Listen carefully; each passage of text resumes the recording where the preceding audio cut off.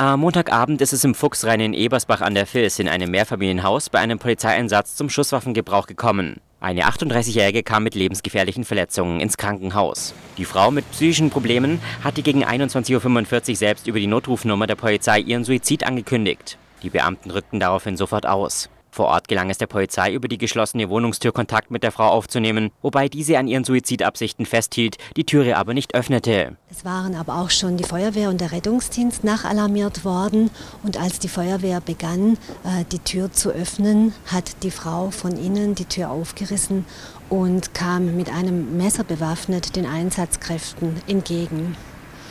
Dies hat dazu geführt, dass die beiden Polizeibeamten von ihrer Schusswaffe Gebrauch machten die Frau wurde schwer verletzt und kam äh, mit dem Rettungsdienst ins Krankenhaus. Sie konnte sofort notärztlich behandelt werden, weil ja der Rettungsdienst bereits vor Ort war.